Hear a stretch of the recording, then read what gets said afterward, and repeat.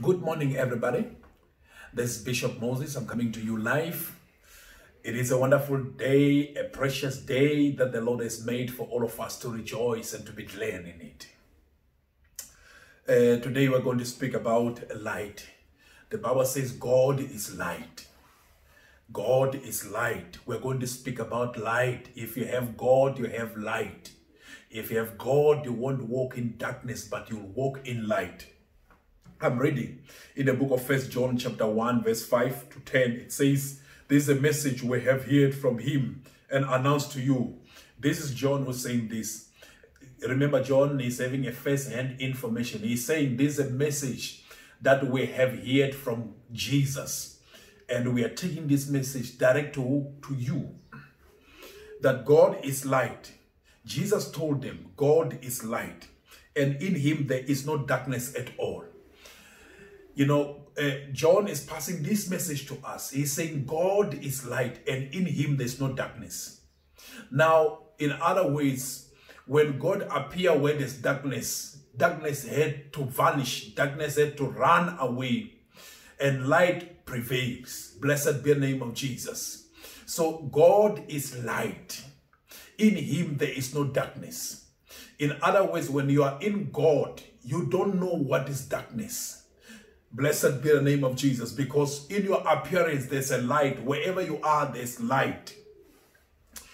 If we say, if we say that we have fellowship with him, that is Christ, and yet walk in darkness, we lie and do not practice truth.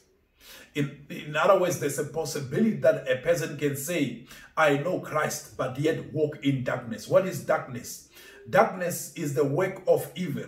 It's when somebody is living, you know, an evil life. It's when somebody is living in sin. It's when somebody disobey God. It's when somebody is against God. That is walking in darkness. Walking in light is to walk in the principles of God. Walking in light is to obey and adhere to the will of God.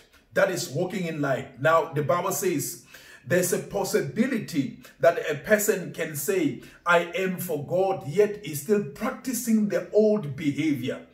Example of what we are going to learn in this, in this chapter is hatreds. Hatreds.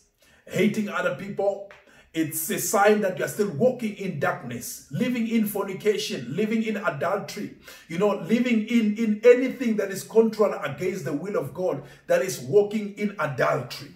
I mean, that is walking in darkness. I'm reading further.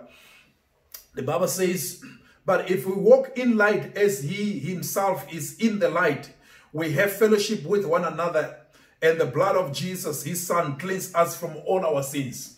Number one, how do we know that you're walking in, in, in light? How do we know that you're living in light? It's when you have a fellowship with other people, fellowship in the spirit, and also fellowship physical. It's very important, you know, to have fellowship in Christ. Fellowship in Christ it means getting together in prayer, in worship, in praise, in praying for one another, interceding for one another. That is having fellowship with one another. And that's a sign that you are living in light. Blessed be the name of Jesus. Uh, I'm continuing. Uh, chapter 1 verse 2 to 9 it says, The one who says he is in the light yet hate his brother is in darkness until now. Now God is singling out, is showing us that it's very simple for us to walk in darkness. Now, if you hate your brother, if you hate your brother, it does not matter which platform are you standing. If you hate your brother, the Bible says you are in darkness, you are living in darkness. Oh, blessed be the name of Jesus. So to say, you need light. You know, many of us, we are saying we are living in light, yet we are not in light.